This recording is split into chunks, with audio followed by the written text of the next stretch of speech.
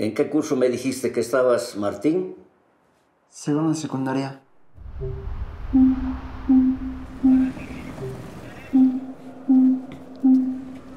¿Y cómo ha estado, caballero? Bien, aquí estoy peleando con este bandido. Un pájaro negro me saluda. ¿Y tú qué estás haciendo aquí? No quiero que se entere que están viviendo aquí. Bajo la ley yo tendría que volver a ingresar a Martín a un centro de acogida. Usted lo estaría cuidando hasta que yo le encuentre un nuevo hogar. ¿Cuánto tiempo trabajó mi mamá en la sastrería? Varios años. Esa familia era bien fregada. Me gustaría tener un perro como el suyo. ¿Por qué no adoptas un perro de la calle? Es ahora o nunca. Caballero, ¿le pasa algo? Hace unos días tuve un sueño.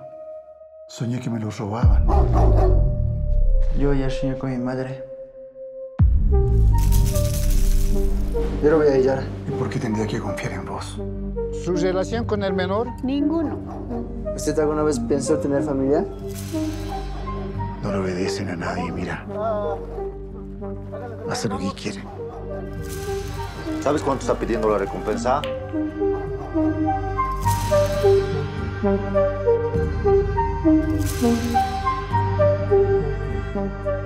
estás loco. Una sonrisita, por favor.